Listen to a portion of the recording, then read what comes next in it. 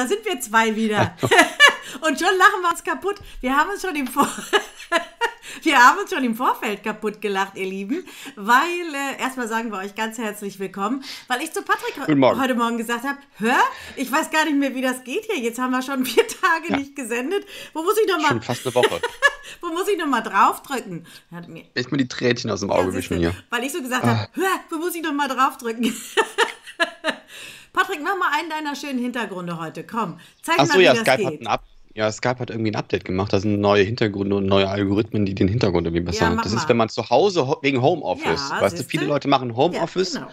und jetzt hat sich Skype gedacht, wir müssen noch was Neues machen und viele denken sich, ah, oh, dann muss ich mal aufräumen, mein Hintergrund. Warte mal, warte mal. Wir haben ja heute viele. Gäste, ne? Warte mal, mhm. ich zeig mal erstmal den ersten, den wir zu Gast haben, bevor du Hintergründe zeigst. Also, warte. Mhm. Erstmal muss ich hier meinen Hintergrund zeigen. So, mhm. da ist Patrick Dwayne, der nämlich heute bei uns zu Gast ist. Toller Schauspieler, in vielen Serien dabei. Bad Banks, bekannte Serie, Tatort, Soko München. Bei Gute Zeiten, Schlechte Zeiten hat alles mal angefangen. Und er hat ein tolles Buch geschrieben. Da wird er dich heute beraten, lieber Patrick. Und äh, ja, es geht um Geld. Es geht darum, wie man äh, Geld macht quasi. Das wird er dir nachher erzählen. Und bevor ich jetzt weiter äh, erzähle, kommen wir nämlich zu deinen Hintergründen. Weil Ach so. so, warte mal. Andrea Spatzek ja. meldet sich heute aus Wien gleich erstmal. Die hat uns so einen schönen Wien-Bericht gegeben. Mach mal Wien. Nee, das ist, ist das. Nee, das ist nicht Wien, das, das ist Endzeit. Das, ja. Ja, hier sind nicht so viele Dinger drin. Mach mal hier, Wien guck mal, hier gibt es so, ein Office. Nee. Also gut, dann da sage ich dir so ein, noch, warte, warte, das, ehe du weitermachst. Das Wien sein? Das könnte Wien sein. Ja. So. Dann wollte ich dir sagen, Thomas Gerres geht gleich für uns unter und zwar im Pool und zwar in Portugal. Er probiert aus, ob ja. seine Kamera wasserfest ist. Dir fliegt hier bei dem Hintergrund der Hörer weg. Hast du mal einen Pool für uns? Nee, Pool ist hier nicht drin, hätte ich hinzufügen müssen. Aber eine Küche, irgendwie sowas ja. hier, oder? Oder ist das, nee, das ist eher so Anne-Kathrin Ertel, Das ist Anne-Kathrin Ertel, ja. ja. genau. Oh, mein, mein Arm verschwindet. Ja, mal, oh Gott. das ist Anne-Kathrin Ertel, die ist heute auch dabei, ja. Ich pass mal auf, ich habe hier lauter Bilder, jetzt zeige ich sie doch euch mal. Ich mach's wieder weg. Ja, mach, mach weg. weg. weil wir haben nachher alle live. Anne-Kathrin Ertel war ja, ja. auf äh, Hochzeitsreise, in den Flitterwochen, wie man so schön sagt. Sie hat ja mhm. geheiratet, Matthias Ostscholek. Der musste mal nicht Fußball spielen bei Bundesliga Over. Warte mal, der spielt ja in der zweiten Liga. So war es auch so. Und da durften die mal in die Flitterwochen und da wird sie uns erzählen, wie das so war am Tegernsee. Ich sag dir heute das volle Programm. Pass mal auf, ich kann euch noch mhm. mal liefern. Ja, was soll man denn mit, mit, mit was soll man denn anfangen, quasi, bevor wir Patrick Dwayne zu uns holen? Sollen wir mal Thomas Gerris im Pool zeigen? Äh, oh, hat er denn noch genug an? Ja, ne? ja, das werden wir gleich sehen. Hat er denn so ein knappe, knappes Höschen an oder eher so eine, so eine Boxer-Schwimmhose? Das ist ja auch so eine Grundsatzfrage. Also Urlaub ist ja gerade groß, großes Thema. Ne? Urlaub, alle wollen den Urlaub, alle müssen den Urlaub, alle sagen, Mensch, ohne Urlaub geht es gar nicht. Ich habe äh, vorgestern mit Heike Maurer, Lottofee, hunderte von Jahren hat sie im ZDF die Lottozahlen gezogen. Die wohnt inzwischen. so alt ist sie? Nein, aber hat sie. Ist sie natürlich nicht, aber äh, die hat sich auf Mallorca niedergelassen, baut gerade und, und wienert und hämmert und da hat sie mir ihre Muckis mhm. gezeigt mit Schlagbohrer am äh, ihrem Haus herum und sagte, oh, auf Mallorca ist wieder äh, Maskenpflicht jetzt, ich glaube seit Samstag und zwar überall, wo du nicht mhm. 1,50 Meter Abstand einhalten kannst, musst du auf Mallorca die Maske aufsetzen. Da sieht man dann nachher, wer so alles von Mallorca, Ibiza, Formentera kommt. Die haben ja alle so einen weißen Streifen dann, ne? wenn die zurückkommen aus dem Urlaub. Bei Thomas Gerres in Portugal weiß ich nicht, der ist da, glaube ich, einsam. Einsam ist er da irgendwie. Sollen wir den mal, sollen wir den mal zeigen? Mach mal. Pass auf, ab geht's. Thomas Gerres in Portugal. Wer sich jetzt über den blauen Himmel hier und diesen Pool wundert, der weiß, dass ich jetzt gerade nicht in Deutschland bin und auch nicht bei mir in der Lifestyle-Küche, sondern hier für alle im Lechterhaus geht's jetzt um Sommer, Sonne, Sand und Meer. Ja, ich weiß, in der Corona-Zeit da sehnen sich ganz, ganz viele danach und ich habe es gewagt. Ich bin in Düsseldorf in den Flieger gestiegen, bin an die Algarve geflogen, hier nach Portugal. 32 Grad gerade heute, blauer Himmel, äh, Top-Wetter, nur keine Touristen. Also schaut euch das hier an. Am Pool ist niemand außer mir. Das äh, ist ganz schön im Moment, denn die Touristen bleiben hier aus und darüber beschweren sich die Taxifahrer, die Touristiker, die Hoteliers sind äh, traurig. In den Restaurants wird man sehr, sehr zuvorkommend bedient. das sicherlich auch zu starken Touristenzeiten hier in Portugal. Aber im Moment ähm, ist man fast alleine abends mit ein paar Leuten am Tisch oder beziehungsweise im Restaurant kann ein bisschen was essen, kann die portugiesische Sonne genießen, den Strand, die Felsenklippen hier an der Algarve und vor allem auch das gute portugiesische Essen. Chicken Piri Piri zum Beispiel oder Sardinenpaste. Das ist das, was abends äh, auf den Tisch kommen kann. Mit einem guten Rosé oder Weißwein. Und dann kann man sich auch darüber freuen, dass man hier die beste Zeit des Jahres genießen kann. Denn es dauert noch ein bisschen, bis alle sich trauen, in den Flieger zu steigen, irgendwo in der Sonne zu sein. Die Sommerferien gerade in Deutschland, aber nicht alle haben gesagt, wir können jetzt mit unseren Kindern oder unserer Familie fliegen und wegfliegen. Ich habe es getan fürs Lechterhaus, für alle, die den ultimativen Gerres Sommer Sommer-Tipp haben wollen. Denen sei gesagt, traut euch einfach. Traut euch. An den Flughäfen geht es ganz, ganz zivil zu. Da sind nicht überall die Temperaturtests. Zum Beispiel in Düsseldorf. Beim Abflug nach Faro, nach Portugal, wurde ich nicht getestet. Bei der Einreise in Portugal auch nicht. Allerdings hier in der Hotelanlage, da hat man mir den Scanner so auf den Kopf gesetzt und hat mal eine normale Gäres-Küchentemperatur feststellen können. Und jetzt gehe ich hier in den Pool und versuche das mal hier ohne Drink auszuhalten, aber man muss schon eine ganze Menge Wasser trinken. Normalerweise hole ich das immer aus meinem Kühlschrank, rechts oder links neben mir in der Küche. Aber hier heißt es jetzt einfach äh, nicht untergehen. Obwohl, wir versuchen das mal. Ja, im Lechterhaus geht man nicht unter. Da kriegt man immer die frischesten Informationen. Ja. ja. Und Spaß macht. Ich werde euch in den nächsten Tagen noch ein bisschen mehr darüber berichten, was man hier alles machen kann. Grottenfahrten, Touren mit dem Mountainbike. Und es gibt viel, viel zu erleben. Und die Menschen hier sind super freundlich und die wenigen Touristen sind ganz happy darüber. Also macht euch ein paar schöne Tage, auch wenn ihr jetzt im Lechterhaus über andere Themen redet. Ich sag hier Bom dia aus Portugal. Der ist aber eben untergetaucht, ne? Hast du es gesehen? Hat er aber eben schnell seinen Shirt gewaschen. ja, da sind wir fassungslos. Thomas Gleicht das nicht aus mit dem Chlor? Unser. ja, genau. Unser lieber Kollege Thomas Gerres im Lechterhaus ist mal eben untergetaucht in Portugal. Was ich ganz interessant mit Klamotten, ja, mit Klamotten immer. Was ich ganz interessant mhm. finde, ist, dass er gesagt hat, es ist noch ziemlich äh, leer in Portugal, also nicht alles überfüllt, ähm, weniger Touristen. Also das fand ich eigentlich eher spannend, oder? Mhm. Ja. Also also da, man sieht ja gerade auch andere Bilder im Fernsehen und in den Medien oder in den Zeitungen dann von Mallorca, wo dann auf einmal Dutzende Menschen fast aufeinander sitzen, ohne Maske.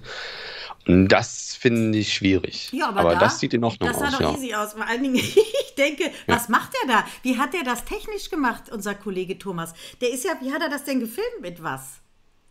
Der ist ja, der ist ja, der hat ja Ich habe gerade ein Skype-Problem. Du bist bei mir sehr. Hörst du mich noch? Ich höre dich, ja. Ich höre dich. Ist deine Maus schon wieder leer? Nee, ich höre dich, ich sehe dich, es ist alles gut. Okay, ich, ich habe den letzten Satz von dir nicht mehr gehört. Ähm, also die Frage ist, ähm, wie, wie, das, wie der das gemacht hat mit dieser Stange da. Also hat er da so sein, sein Handy auf einer Stange gehabt oder wie ist der untergegangen? Das weiß ich auch nicht. Denke ich schon, ja. Es gibt ja auch Handys, die sind wasserdicht, ne? die kann man ja dann auch, weiß ich nicht, vielleicht hat das, hat er dann, oder hat so einen langen Arm, kann er auch sein. Weiß ich auch nicht. So. Also wir kriegen nachher noch mehr. Die volle Packung Urlaub. Andrea Spatzek hm. macht mit uns eine kleine Wien-Rundreise. Äh, Finde ich auch sehr schön. Wien. So.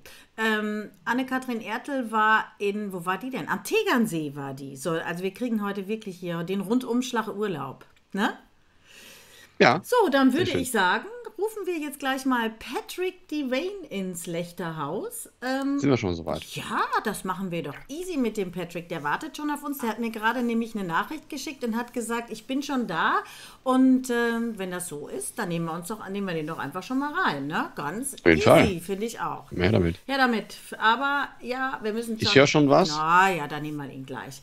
Gute. Oh, hallo. Der, oh, der, der hat sich ja schick gemacht. Morgen, lieber Patrick. Guten Morgen, liebe Biggie. Grüßt euch. Ja, Guten Morgen. du siehst ja cool aus. Live von der Börse, hätte ich fast gesagt. Äh, ja, tatsächlich. Ich habe mich extra für euch ein bisschen in mein normales äh, Outfit geschmissen, damit keine Irritationen sozusagen hier herrschen.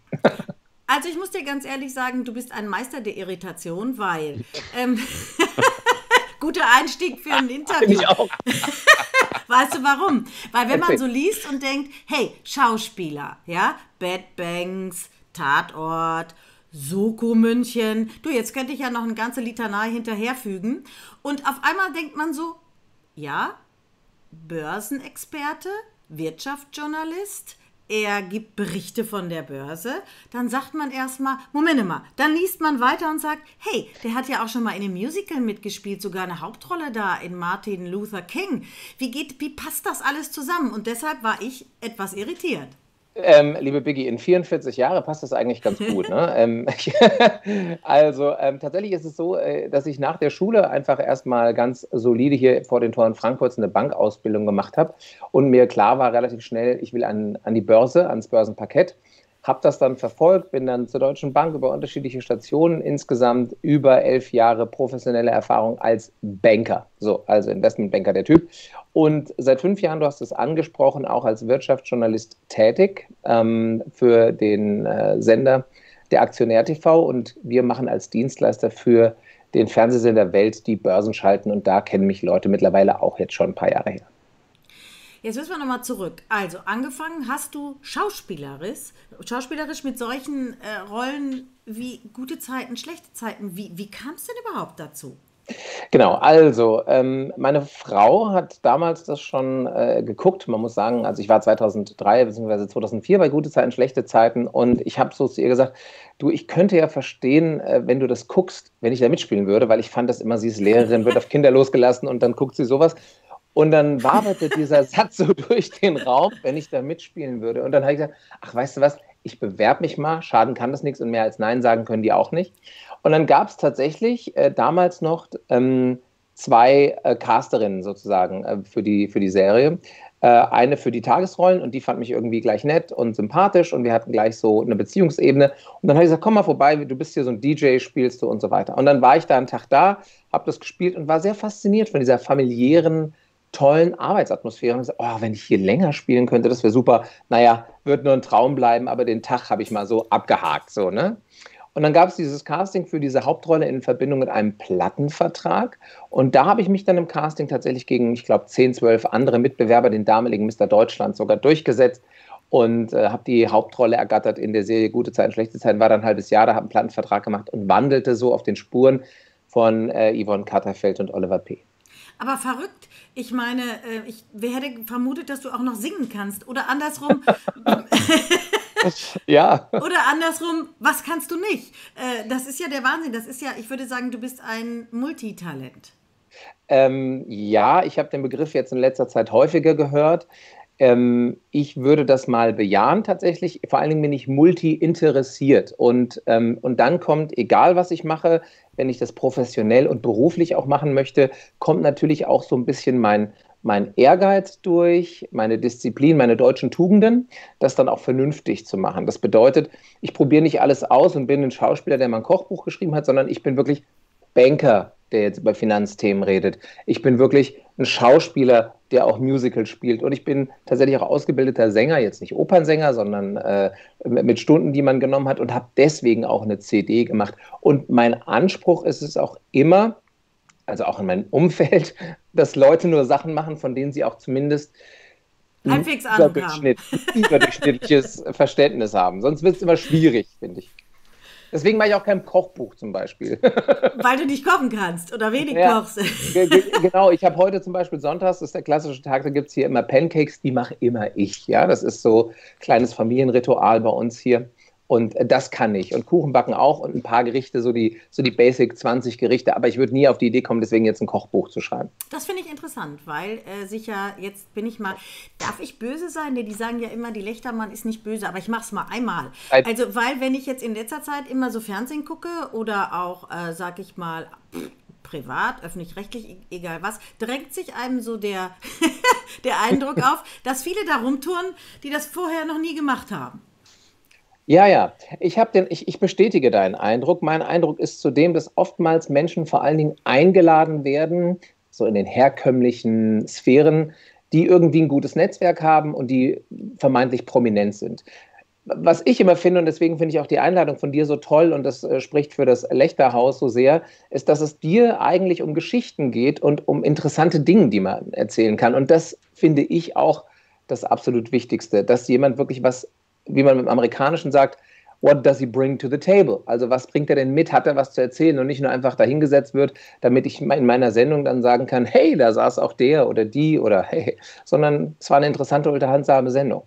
Ja, und du hast ja so viel zu bieten an Stories, dass wir gedacht haben, ähm, wir schauen mal, wie wir das alles unterkriegen heute, dich schon ein bisschen früher sogar eingeladen haben, damit wir das alles unterkriegen. Also wir haben über Schauspielerei gesprochen. Übrigens, eine Top-Serie war natürlich Bad Banks. Ne? Da Absolut. passt du aber als Banker rein und musstest du mit meiner alten Kollegin Desiree Nosbusch, mit der ich ja bei Radio Luxemburg groß geworden bin, sag mal, und musstest du da einiges deiner Branche bestätigen und sagen, ja, das, was in Bad Banks gezeigt wurde, das erlebte ich, erlebte, sage ich jetzt extra mal, erlebte mhm. ich auch im wahren Bankerleben? Ja, na klar. Ähm, zu Desiree Nosbusch, es ist eine, so eine bezaubernde Kollegin und das ist so schön.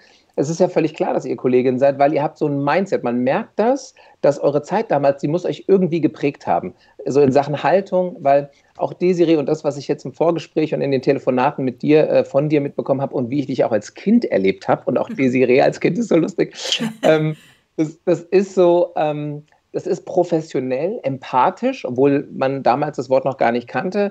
Und es ist so interessiert und wohlwollend, ja. Und so war auch die Zusammenarbeit mit Desiree Nosbusch am Set von Bad Banks. Und äh, um deine Frage zu beantworten, ich habe ja nicht nur als Schauspieler äh, in den beiden Staffeln mitgemacht, sondern in der ersten Staffel war ich auch noch als fachlicher Berater engagiert habe äh, den Regisseur Christian Spocho, den Head-Autor Oliver Kienle, die Produktion im Allgemeinen aber beraten. Und da ging es um Authentizität auf der einen Seite, aber auch so ein Wording, so eine Sprache, so ein Habitus in einem Händlerraum.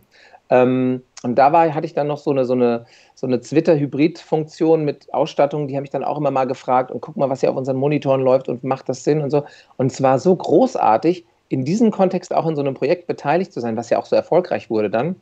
Ähm, das hat mich A stolz gemacht, B hatte ich ein bisschen in Anführungszeichen eine Einwirkungsmöglichkeit auf die Authentizität und bin super happy, dass ich da so viele Freiheiten hatte und auch gefragt wurde, weil das passiert auch nicht äh, immer. Und habe dann noch in so einem Trainingslager die Komparsen gecoacht, 80 in Berlin, 80 in Luxemburg. Also es war Champions League Erfahrung meines Lebens.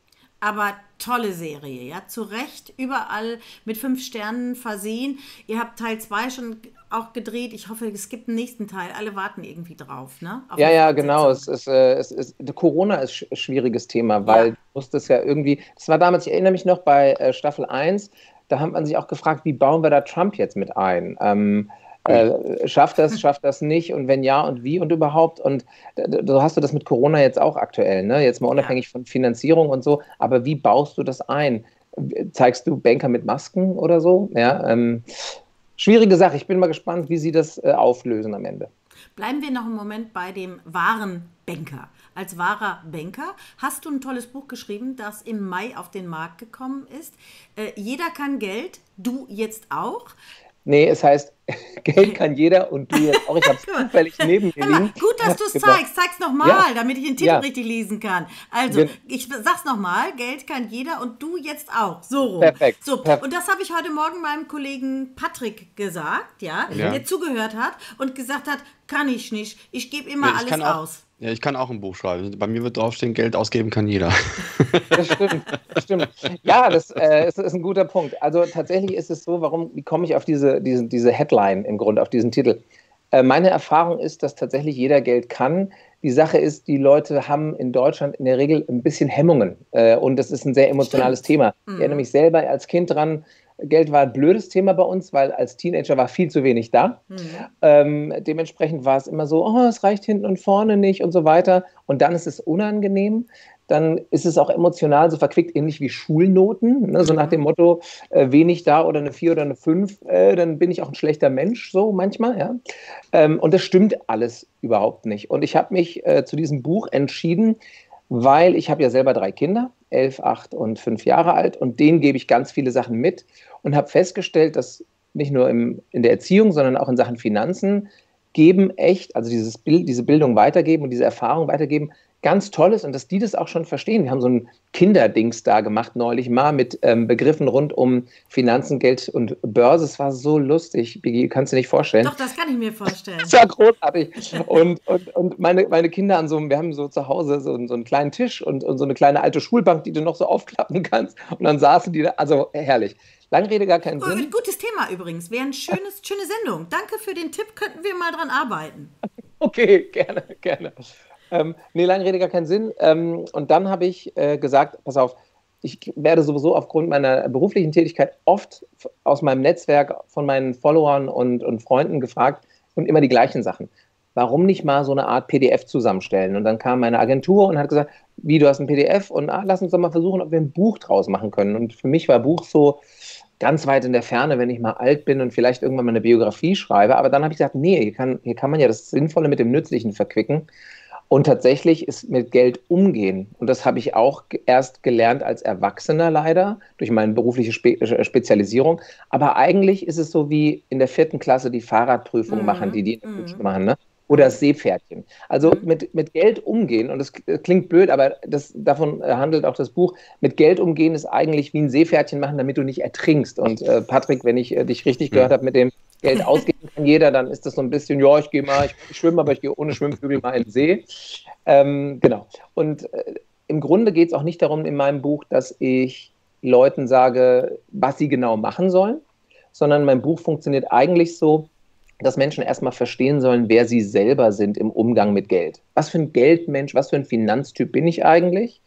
Ähm, ich habe auch ein, äh, so ein Konzept entwickelt mit einem Finanzglückskleeblatt und nenne mich ja ähm, da auch der Finanzcoach so ein bisschen wie im Fitnessstudio. Ich bin sozusagen der Personal Trainer, der Finanztrainer und gucke zusammen mit den Leuten im Buch mit Listen, die sie selber schreiben müssen, ist auch ein bisschen interaktiv.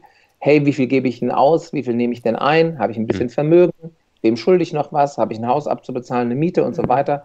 Und dann im Grunde Salben zu ziehen und festzustellen, okay, und wie ist mein Mindset zu Geld? Sage ich sowas wie Geld stinkt oder äh, Leute, die viel Geld haben, gucke ich missgünstig an? Oder wenn ich selber viel Geld hätte, was würde ich eigentlich damit machen? Dann geht es also um so die Haltung. Mhm. Und dann am Ende im Buch geht es dann thematisch weiter. Also alles, was uns in Sachen Geld beschäftigt. Immobilien, ähm, Aktien, Rente, Lebensversicherung, Miete, Hausabrechnung, Haushaltsbuch. Also wirklich Bitcoins rudimentär, aber tatsächlich auch. Und ich sage es mal so, der Verlag, äh, wenn der die Idee hat, ein zweites Buch zu schreiben, dann wird mein nächstes Buch so ein bisschen darauf dann auch aufbauen mhm. und würde sich tatsächlich mehr mit Finanz- Zukunftsthemen beschäftigen. Also Bitcoin, tatsächlich, Patrick, das wäre eins äh, der Themen, aber auch Social Trading, dann äh, kuratiertes Handeln. Also Erklär mal, was Social Trading ist. Social Trading ist ähm, im Grunde, dass du eine Community hast von Leuten, die gerne handeln würden, aber selber nicht so viel Know-how haben oder nicht genügend, denken, sie hätten noch nicht genügend Treten, äh, Erfahrung. Und dann können sie Profis folgen ah, okay. und können, okay. was die machen und haben im Grunde so ein Potpourri, ne? wie auf Instagram. Nimmst ja auch nicht jeden x-beliebigen Schminker, sondern du schminkst nur wie Aber Patrick, jetzt muss ich dir mal eines sagen. Ich habe oh. mir letztens gebucht, eine Veranstaltung, ein Event mit Herrn äh, von Focus Money, ja, von Focus Money beworben. Gehen Sie ah, doch okay. mal. Äh, ja, genau. Kaufen Sie sich hier ein Event-Ticket, ein Webinar und so habe ich gedacht, ach, da ging es darum, ja, der Euro geht unter und, und, und, und es wird irgendwie keinen Euro mehr geben. Da habe ich gedacht, okay, den Scheiß höre ich mir jetzt mal an, den gebe ich mir, ja, für 15 Euro, ne? Jetzt, also das geht ja. ja. ja, pass auf, für 15 Euro. Focus Money. Ich habe nichts Neues erfahren es ging einfach immer nur, nee, und geht mal nicht so auf Euro und dies und jenes. Boah, da muss ich sagen, nee, so nicht. Ja, das ist doch eine gute Erfahrung. Ich bin auch jetzt nicht so ein Freund von Fokus oder sagen wir mal anders. Ich will die gar nicht so bashen. Mein Problem ist, dass, und das ist der Unterschied zwischen diesen unterschiedlichen Playern und mir, mir geht es darum, dass ich Leute in die Situation, in die Lage versetze, dich, je nachdem, wer es liest, dass du ganz eigene Entscheidungen treffen eben, kannst. Eben. Und und, und Basic lernst. Im Grunde, mhm. weißt du, ich, bring, ich bin wie so ein Fahrlehrer. Du schnallst dich an, ich sag dir, wo Gas und Bremse ist, wo der Schaltknopf ist und das Lenkrad und wie Blinken funktioniert. Und wie groß das Risiko ist, wenn du dich nicht anschnallst. Genau, und, so. ähm, und, und dann entscheidest du, ob du Airbags benutzt, was für ein Auto du fährst, ob du lieber mit dem Fahrrad und so weiter. Ja? Ähm, und, Oder den Rückwärtsgang drin hab. Äh, richtig, genau. Manchmal ist auch rückwärts gar nicht so schlecht. Genau, schnell verkaufen, ja, raus. Genau, ja, ja. Nee, und, und, und dann ist der Punkt der, dass ich, ich finde, überhaupt in unserer Medienlandschaft, ich habe gerade gestern mit einem Kollegen darüber geredet, es läuft immer mehr weg von der Neutralität und von Stimmt. der Berichterstattung Total. hin zu, ja. ähm, zu Meinungsmache, egal mhm. von welchem Spektrum, Stimmt. weil die Idee und das Geschäftsmodell halt sich verlagert von, von dem Papier und dem Wissen hin zu Klickzahlen und Klicks. Und dementsprechend werden ähm, Versprechungen gemacht, Überschriften konzipiert. Es ist viel Marketing-driven und man erlebt dann solche Entscheidungen, äh, Enttäuschungen, Schatz, äh, wie du das gerade gemacht hast, Biggie. Ne? Also so ist ja, aber weil, wobei ich dann denke, ja, also was erzählst du mir da? Und das ging irgendwie, und dann haben sich da irgendwelche anderen Event-Teilnehmer eingeschaltet, die irgend, irgendwas gefragt haben, wo ich dachte, okay, du erzählst uns jetzt nur, was du machst. Du kaufst Bitcoins, du machst dies, du machst jenes. Aber das ist doch nichts Neues. Ja, wo ich hätte jetzt mal erwartet, dass der mal irgendwas, äh, nein, und raus aus dem Euro, wo ich dann sage, das war so unstrukturiert und ich war echt enttäuscht. So, und dann muss ich dazu sagen, du weißt ja, Radio Luxemburg haben wir angesprochen. Ne? Ja. Und als ich dort angefangen habe, da war ich 22, 21, da fing ich da an. Da nahm mich ein älterer Kollege, nämlich Rainer Holbe. Ich weiß nicht, ob euch mhm. das noch was sagt, ne? ZDF-Startparade und was weiß ich, an die Hand und sagte, na Bigileinchen, dann herzlich willkommen im Team und jetzt sage ich dir mal was. Wir gehen mal zu deiner Altersvorsorge.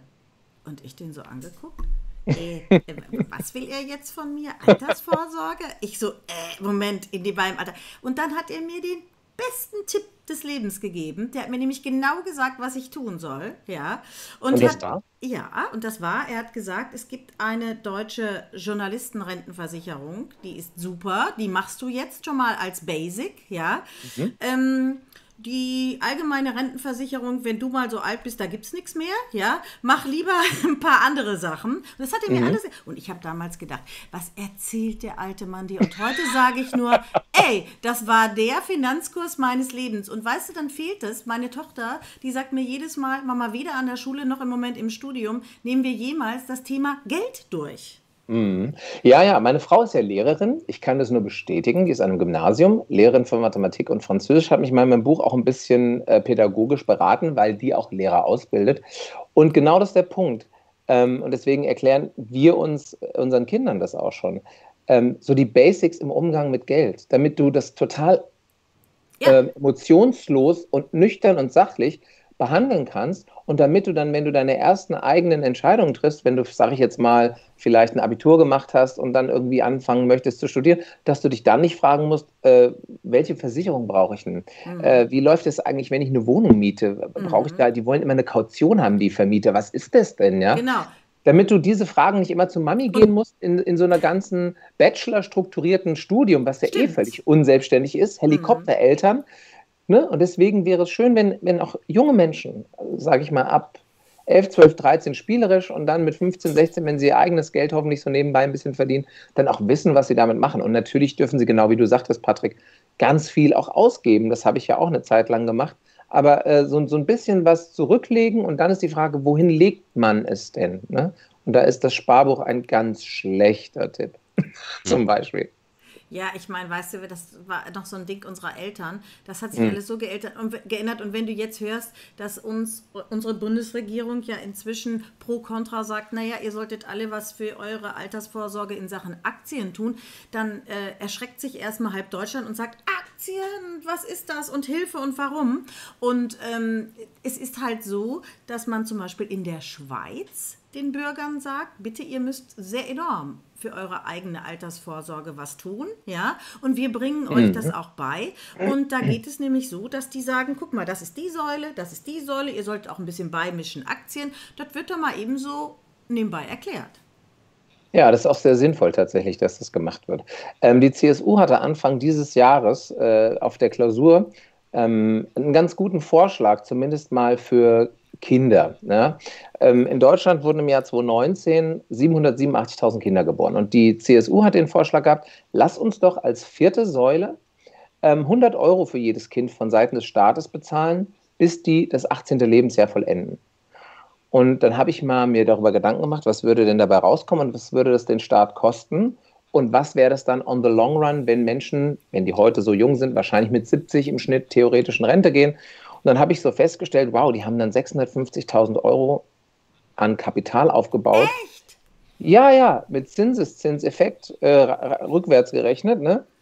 Ähm, unglaublich. Also 100 Euro äh, im, äh, über diese 18 Jahre bist du bei ungefähr 21.600 Euro. Dann noch mit Zinsen, sagen wir mal, in den 18 Jahren hättest du pro Jahr irgendwie so zwischen 4 und 5 Prozent. Wenn du das in Aktien tatsächlich oder in, in, in Fonds, die in Aktien breit gestreut investieren, anlegst, ist das auch keine Seltenheit im Durchschnitt in den letzten Jahren an Rendite. Wahnsinn. Und wenn du diese 36.000 Euro vom 18. bis zum 70. Lebensjahr einfach nur liegen lässt, du zahlst keinen Euro mehr dazu, kommen da irgendwie 650.000 Euro. Ich habe es genau mal ausgerechnet, ich habe die Zahl jetzt nicht ganz genau im Kopf, aber so eine enorme Zahl so, kommt dann daraus. Mit 100 Euro wow. bist du dabei.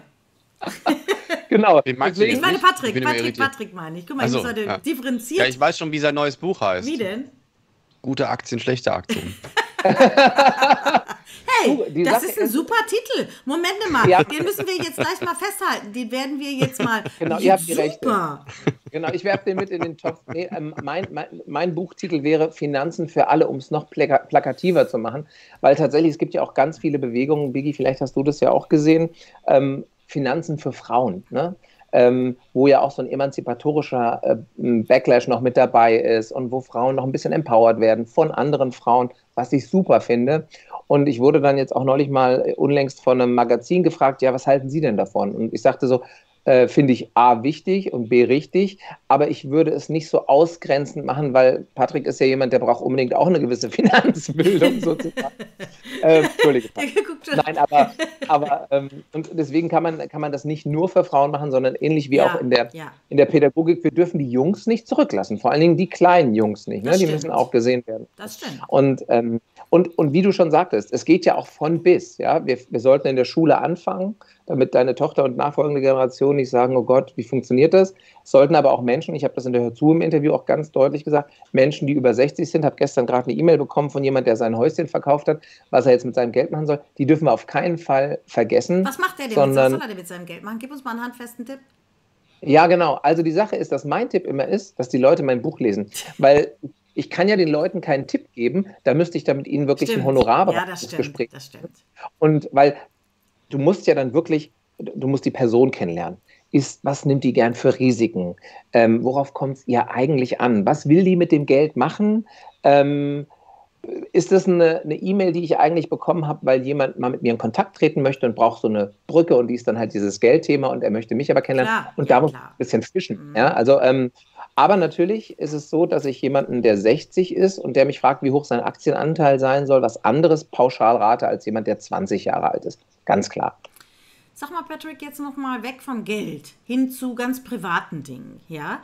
Oh. Ja, oh. dürfen wir das in den letzten Minuten noch mal? Ja, also das ist ja eine ganz spannende Familiengeschichte auch, die du da äh, hast, du persönlich. Ähm, wenn wir bei Familie sind, dass Familien viel mehr mit ihren Kindern über Geld reden sollten, aber auch vielleicht über Herkunft. Du bist ja adoptiert worden, ja. Haben deine hm. Eltern da immer ganz früh gesagt, Patrick, ähm, wir sind deine Adoptiveltern?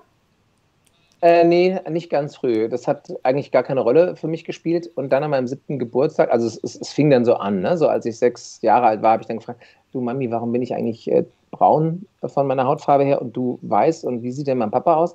Weil du musst wissen, meine Adoptiveltern haben sich getrennt und äh, als ich zwölf war, dann scheiden lassen, schon ganz früh. Ich bin also quasi ein, ein, ein alleinerziehend äh, aufgewachsen mit zwei äh, Geschwistern, die die leiblichen Kinder waren. So. Ähm, und da, den Unterschied habe ich dann wahrgenommen und dann hat mir meine ähm, Mama gesagt, ja, ich bin nicht deine leibliche Mama, du bist adoptiert worden. Und in dem Moment war das eine sehr harte Nummer, weil du weißt ja, wie das mit Kindern ist, klar, wenn du denen ihre, ihre Bubble nimmst, ihre mhm. Sicherheit. Die war dann erstmal futsch. Jetzt als Erwachsener habe ich das natürlich alles total verstanden und wie sie das gemeint hat und so. Aber das war, sage ich mal, von sieben Jahren an bis, in, bis ja, so zum ersten Job, das war teilweise mit Identität dadurch schwierig. Ne? Ähm, und auch finanziell, als meine Eltern sich dann scheiden lassen, als ich zwölf war, ich hatte es angedeutet, da, da war dann nichts mehr mit Hypopai und yeah, sondern das war dann schon eine harte Nummer, 300.000 Mark Schulden auf der Wohnung, äh, es drohte die Zwangsversteigerung. Ähm, also es waren keine, keine sehr schöne Zeiten, aber sehr lehrreiche Zeiten. Und das ist auch der Punkt, den ich so spannend fand, auch den ich auch damals schon so antizipiert habe, ohne es genau benennen zu können. Ich habe gemerkt, okay, es ist sehr existenziell und entweder geht alles in die Grütze, dann kannst du dich eh nicht wehren, oder du kannst es schaffen, ähm, mit viel Engagement, mit viel Ehrgeiz, mit viel Arbeit und viel Willen.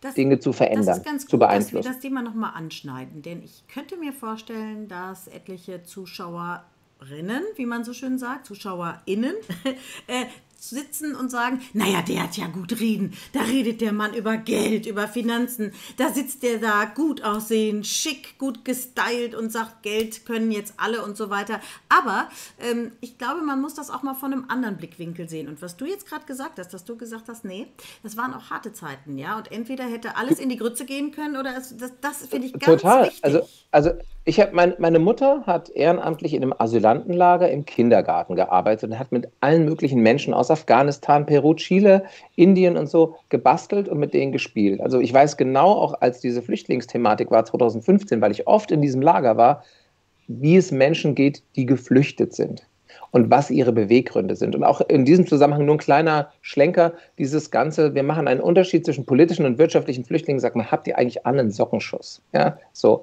Ähm, ich habe damals, weil wir tatsächlich finanziell uns so die Kacke am Dampfen war, ähm, teilweise meine Klamotten, die ich in die Schule anziehen musste, aus der Altkleidersammlung der katholischen Kirche bekommen. Mhm in, mhm. die eigentlich nämlich teilweise für dieses Lager gedacht waren, weil wir einfach keine Penunzen hatten. Ich erinnere mich an Bilder, ähm, ich habe damals total gerne kalte Milch getrunken und Nutella gelöffelt. Mhm. Ich habe mir die Milch, die eine Mark neun gekostet hat, aus den zehn Groschen, äh, zehn äh, Pfenniggroschen, die mein Bruder auf so einem Teller hat liegen lassen, weil er Kleingeld immer nicht mochte und hat das dann immer so auf diesen Teller gelegt. Ich habe mir dann zehn genommen und habe gedacht, ach, es sind so viele, das merkt er gar nicht. Damit ich mir mein Liter Milch kaufen kann und mir so mein, mir meine eigene Welt, meine eigene Realität schaffen kann, um so ein bisschen aus dieser, wirklich aus dieser Scheiße zu entkommen. Äh, mit 14 habe ich angefangen, auf dem Bau zu arbeiten, mit Spaniern, Portugiesen, Ossis, sage ich jetzt mal ganz blöd, und habe mir da hab auch ein Frauenbild entwickelt, äh, ähm, weil ich nämlich wusste, Frauen hinterherpfeifen, das macht man nicht so, ja. ähm, das finden die nämlich auch damals schon nicht gut, ja. Und, und habe dann so gemerkt, okay, ich bin jetzt auch nicht so ein typisch, typisch, typischer äh, Mann, sondern ich habe schon immer einen guten Zugang zu meiner weiblichen, fraulichen Seite sozusagen gehabt. Ne? Und diese Dinge, diese Armut hat eigentlich dazu geführt, dass ich da in vielen Dingen Medikamente ausfahren, Fernseher reparieren und äh, den Leuten hinstellen, Dinge gemacht habe, die, die mir die Erfahrung gegeben haben, doch, du bist wertvoll, du wirst, du bist nützlich und wirst gebraucht. Und habe gemerkt, ja, und mit dem Geld, was da noch dazu kommt, kann man sich anfangen, so eigene Freiheiten zu ermöglichen und ein bisschen auch so in der Peer Group als Teenager seine 501 Levis zu haben oder sein mhm. Chiemsee-T-Shirt, diese mhm. ganzen blöden, blöden Dinge, die man braucht, um irgendwie dazuzugehören. Und die habe ich mir selber erarbeitet und es war so cool. Ich kann nur jeden da draußen, jede Zuschauerin ermutigen, ähm, auch wenn es mal scheiße läuft, ja, das ist dann auch scheiße, das kann man dann auch mal thematisieren, das muss man sich auch nicht für schämen, auch wenn man es, auch wenn man, weil es einen manchmal beschämt, keine Frage. Aber ähm, am Ende zählt, was hinten rauskommt. Und ich habe mir gedacht, ach, ich lebe wahrscheinlich äh, statistische 80 Jahre.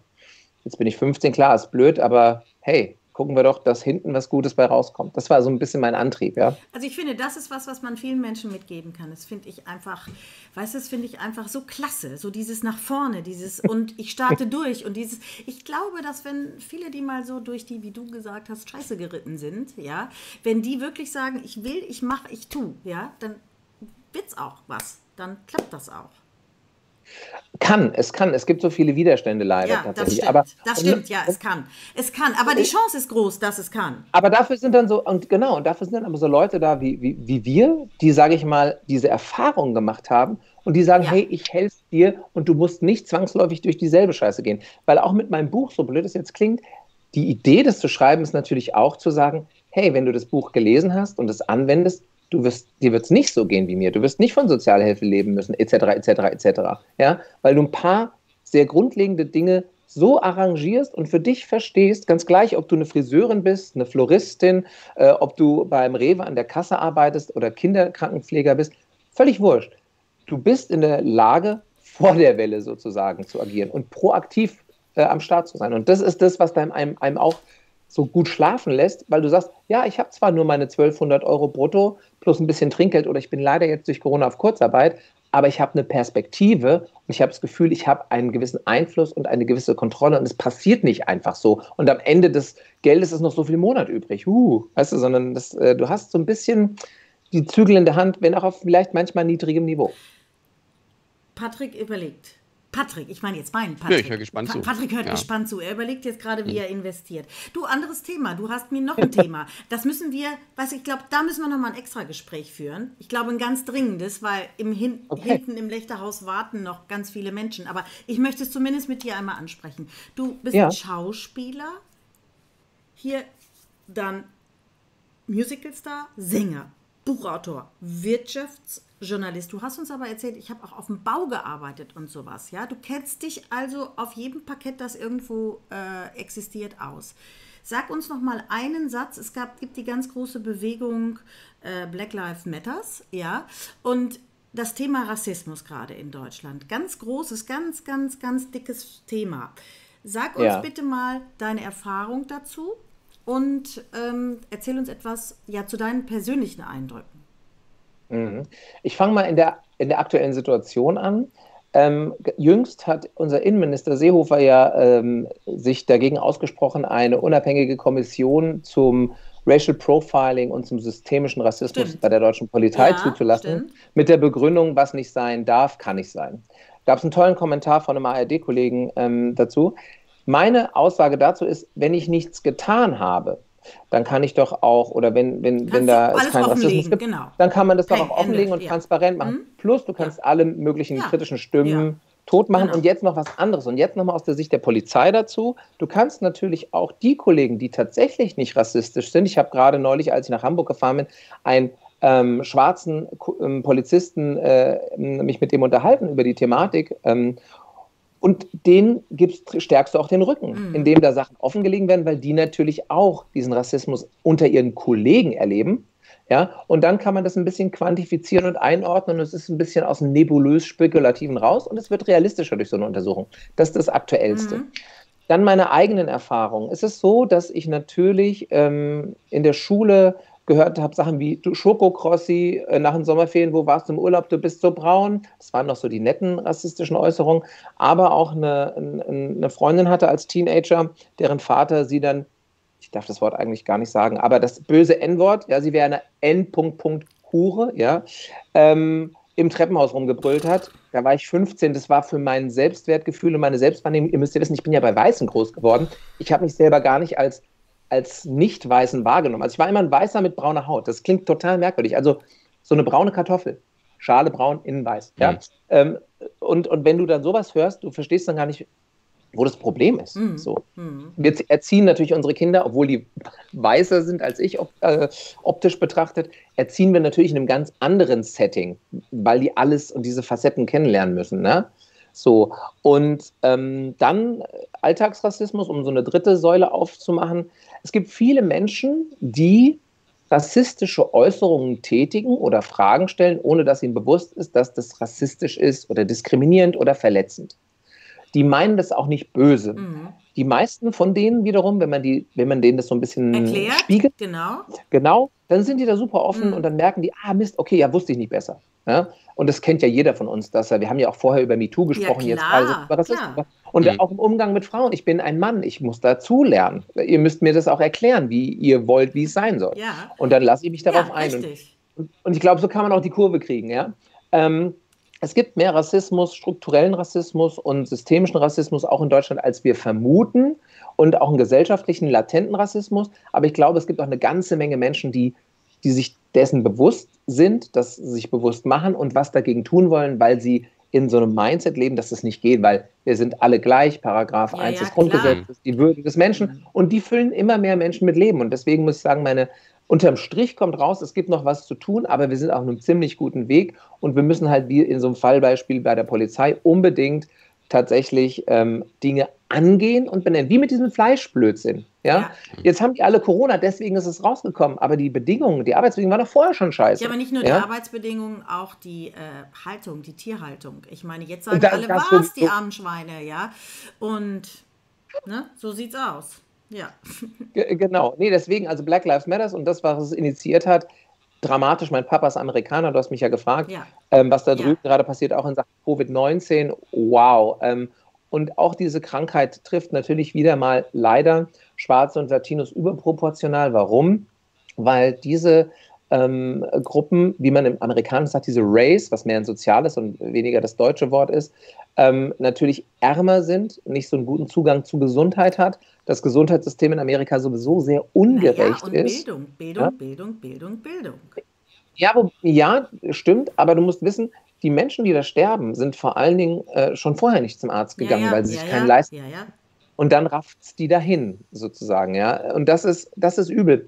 Und einen abschließenden Satz zu dieser Covid-Thematik. Man sieht around the globe, da wo Männer, populistische Männer sind, also die mhm. Trumps, die Johnsons, mhm. die Bolsonaros und so weiter, ähm, da läuft es richtig schlecht, Putin, und wo die Unterschiede in der Gesellschaft sehr groß sind. Also die Reichen sind reich und die Armen sind super arm.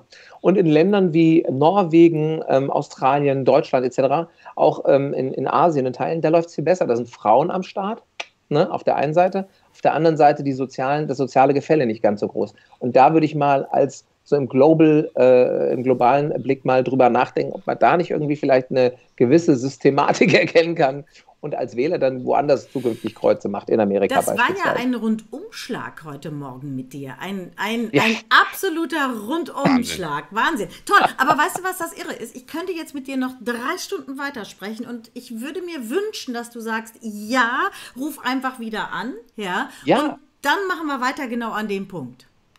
Sehr gut, Biggie. Ich wünsche euch einen schönen Sonntag. Patrick, dir natürlich auch. Und Dankeschön. bin gespannt, was gleich noch für Gäste einschalten. Ich gucke es mir an. Okay, Patrick, herzlichen Dank. Ja, tschüss. Bis Mach's dahin. gut. Ciao. Ciao. Ja, jetzt wieder umschalten. Patrick. ja. Jetzt musst du mir noch äh, die, die Nummer mal zukommen lassen, damit ich endlich weiß, welche Aktien ich kaufen muss. Das habe ich jetzt nicht mitgekriegt. Das mache ich. Aber ich finde es gut, dass du dich jetzt schon mit dem Thema Aktien beschäftigst. Das finde ich gut. Ich habe meiner Tochter auch gesagt, beschäftige dich damit. Ja, wenigstens für 50 Euro solltest du mal irgendwie. Ja, der, der, der, der bekannte YouTuber Unger hatte damit so viel gemacht. Ne? Ich weiß nicht, ob du das mitbekommen hast, aber der hat erst äh, Beyond Meat Aktien ja. gekauft und dann Tesla. Und der hatte da einen guten Riecher. Wobei der Tesla extrem ist viel Geld extrem zwischendurch mal abgeschmiert. Ja, und äh, äh, da gibt es immer noch nichts ja. groß mit irgendwie in roten Zahlen und so. Aber gut, okay. Wenn da am Ende ein Auto dabei rumkommt, nehmen wir auch das. Du, apropos Auto.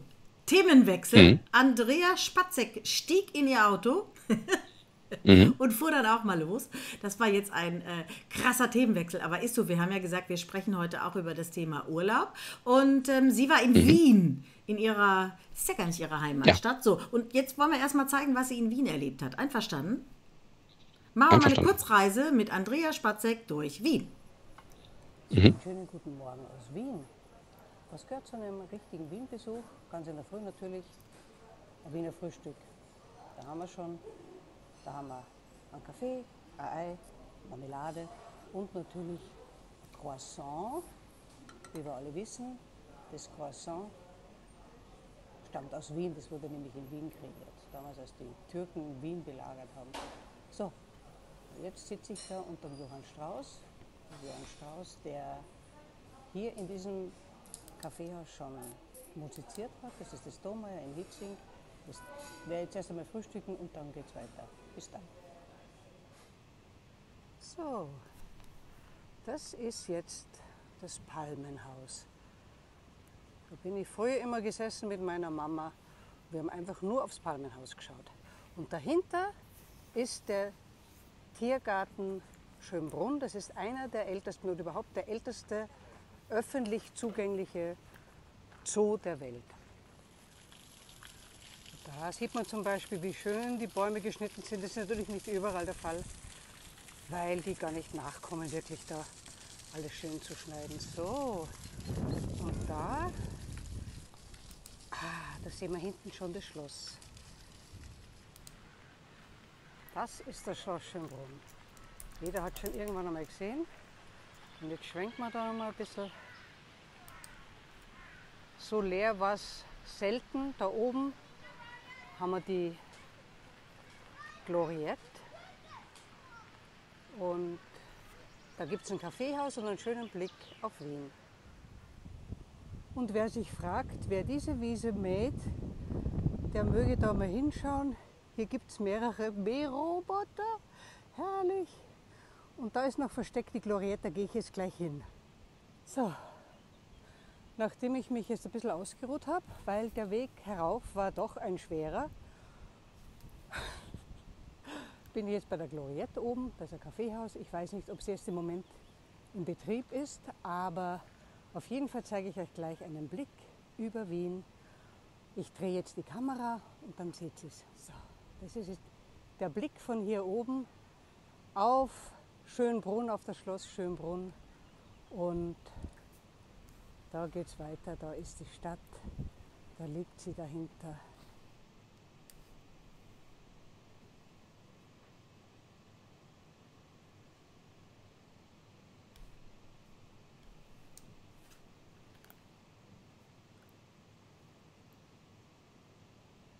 Das ist das Palmenhaus.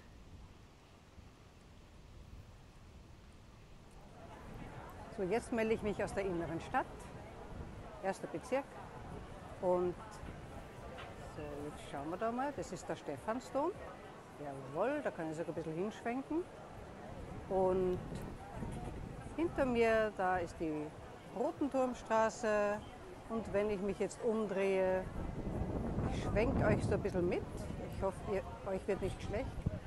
Da ist jetzt die Kärntnerstraße, die berühmte Einkaufsstraße. Und wenn man hier in diese Richtung geht, das ist der Graben. Da kommt man dann zum Kohlmarkt und zur Burg. Und ich gehe noch ein bisschen spazieren. Jetzt gehe ich gerade an der Pestsäule vorbei, weil jeder weiß, in Wien war wie in vielen anderen Gebieten die Pest vor vielen hundert Jahren. Der liebe Augustin ist in die Pestgrube gefallen und hat es trotzdem überlebt. Na gut. So, ich gehe jetzt den Graben entlang. Da haben wir eine Kirche. Schauen wir mal, ob wir die sehen. Jawohl. Keine Ahnung, wie die Kirche heißt, aber sie ist schön. So, das ist der Graben gewesen, das ist jetzt der Kohlmarkt und da hinten da, das gehört schon zur Burg. Das ist das Michaelertor. Das sind wir beim Michaelertor. Wenn man da durchgeht, kommt man zur Hofburg. Hier am Ende der Herrengasse oder am Anfang ist die Albertina, ganz tolles Museum. Dahinter sieht man, also in der Mitte sieht man die Rückseite der Staatsoper Wien, und das war mein kleiner Rundgang, den ich mit euch jetzt durch die innerste Stadt gemacht habe. Es gibt natürlich noch wahnsinnig viel zu sehen. Man braucht einfach nur mit der Ringbahn einmal den ganzen Ring entlang fahren. Da sieht man so tolle Gebäude, das Parlamentsgebäude, die Burg, das Rathaus. Also da ist ein tolles Gebäude neben dem anderen. Ja, jetzt stehe ich da an der Ringstraße und man sieht, es ist sehr grün. Wir haben hier auch einen Stadtpark daneben. Und Wien ist ja bekannt als eine der grünsten Städte überhaupt. So, die macht das klasse, die Andrea, ne? Die macht das professionell, sag ich nur, oder? Boah, die ja. hat echt irgendwie einen Videokurs gemacht oder so. Keine Ahnung, wie das ging. Auf einmal macht sie Reiseberichterstattung, oder? Jetzt wollen wir mal hören, ja. ob sie inzwischen äh, wieder zu Hause ist und ähm, ob sie wieder gut gelandet ist und wie sie das gemacht hat mit ihrem Profi. Äh, Film da. Sie hat nämlich gesagt, ich habe. Ja, hat sie sich einen Gimbal geholt ja, oder sowas? Ja, Weil das sah sehr stabil aus. Ja, also sie hat gesagt, äh, ja, ähm, irre. Also sie hat gesagt, das mache ich jetzt alles und probiere es aus. So, ich versuche mhm. sie jetzt gerade mal dazu zu holen, aber krieg sie nicht. Dann kann es natürlich sein, dass sie noch unterwegs ist. Keine Ahnung, vielleicht äh, fährt sie noch im Auto. Ich versuche es doch mal einmal okay. und dann äh, haben ja. wir ja immer noch einen Gast. Also es ist ja Wahnsinn heute, oder? Wir haben ja heute wollen wir ein bisschen länger machen, ne? Full ja, House. Full ja. House, besten ja du. Wahnsinn. so, so sieht's aus. Ja, also ich weiß nicht, ähm, Wien ist immer eine Reise wert, sagt man so schön, oder? Ja, ist ja Brust. Ja. Ganz Wien sieht aus wie Dresden, oder? So. Adria, bist du wieder gut angekommen, oder? Ja, ich bin ah, wieder gut in Köln angekommen. Hallo. Bist, ja. Bist du gut gelandet wieder? Schön war es in Wien. Hast aber einen schönen Reisebericht gemacht, du. Ja, ich hatte ja noch viel mehr gefilmt, mehr oder weniger, aber deswegen, ich habe dann mit dem Palmenhaus angefangen, ohne zu sagen, so, ich bin jetzt im Park Schönbrunn oder so, weil ich hatte vorhin was gefilmt, aber das wollte ich dann nicht nehmen, weil ich habe ich hab dann doch vom 100, bin vom Hundertsten ins Tausendste gekommen, dann sind mir wieder irgendwelche Namen nicht eingefallen, dann habe ich wieder, ich habe sogar Leute gefragt, heißt es wirklich Michaela Thor oder habe ich mich da geirrt? Bei der Kirche wusste ich auch nicht, wie sie heißt. Aber du hast dann das am Schluss gemacht, ja. also wir machen dir jetzt mal, wir geben dir fünf Sternchen, ja? Also es ist ja Wahnsinn. Ja. Der Gerris geht im Pool ja. runter, du machst einen Komplettbericht aus Wien, hör mal Kinder, ihr werdet immer besser hier. Naja, gut, na, dank eures Tipps oder den, den, Tipp von Patrick habe ich mir dann diesen äh, diese Gimbal da gekauft und ja. da merkt man schon, es ist etwas ruhiger, das Ganze. Gell? Ich habe nicht so gezittert ja. wie in Linz zum Beispiel am Schluss. Da hat er wirklich die. ich kann nicht mehr. ja. Super. Ich frage mich immer noch, wie der Gerris untergegangen ist und in den Pool gestiegen ist. Der, die, die Kamera blieb oben. Der hat einfach, der ist doch nur mit dem Kopf unter Wasser, oder? Ich weiß nicht, aber. Oder hat er mehr gemacht? Ja, nee, aber der war ja mit, mit, mit Shirt ist er untergegangen. Bleicht das ich, aus? Und Brille. Ja, ja. Bleicht das aus Kein, im Pool? Wenn äh, genügend Chlor drinnen ist, ja. Pech gehabt kommt mit einem weißen Hemd heraus. Na gut, ganz weiß nicht, hellblau. Wir haben heute echt volles Haus, Andrealein. Äh, ja, ich weiß. Wahnsinn, weiß. oder? Wir haben heute echt... Ich auch gleich wieder. gleich wieder. Wir sind ja froh, dass du gut angekommen bist. Du, wollen wir ja, jetzt heute ja, noch kochen oder verschieben wir das Kochen mal auf morgen?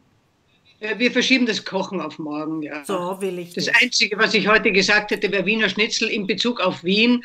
Das wäre dann wieder Fleisch, aber vielleicht lasse ich mir für morgen was anderes einfallen. So, Tja. dann nehmen wir jetzt das Wiener Schnitzel, nageln uns das an die Backe und. Äh Kennst du doch den alten Ausdruck? Ist ja auch nur Blattklopfen und Panieren mehr. Ja, ja. Ja. Ne? Genau. ja. ja, ja, Kennst du doch den alten Ausdruck? Witzig, das war so in den 80ern, hat man das so gesagt. Das nageln wir uns an die Backe. So sieht's aus. Ich bin schon mal froh, dass du wieder heile zu Hause bist, ja? Ja. Hast ja eine ganz schöne Tour de Austriche hingelegt. Ja, ja. Das einzig Blöde ist, ich bin in Montabaur noch geblitzt worden. Ja, da war ich ein bisschen zu schnell. Wie viel? Ich gebe so. zu. Ja, ich bin, glaube ich, 120 statt 100 gefahren. Ich weiß es nicht. War, war ein bisschen blöd. Ja, neuer Katalog. Ja. Kannst du Einspruch erleben? Weiß ich nicht. Ja, ja, ja, Nein, aber das Blöde ist, ich bin die ganze Zeit, habe ich mich an die Geschwindigkeitsbegrenzung gehalten.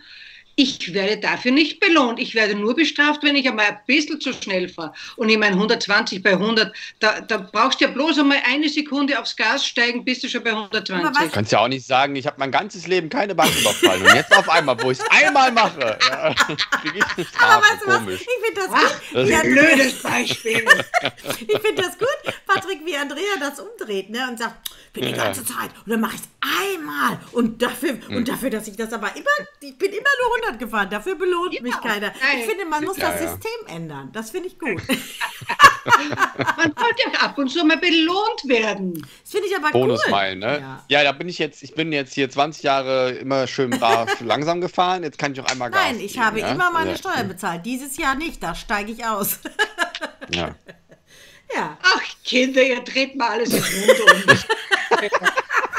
Das ist gemein. Nee, der Satz war super. Bingo. Der freut uns sehr. Ja. Übrigens, ich habe dich heute Morgen um 6.30 Uhr sowas von vermisst, das glaubst du gar nicht.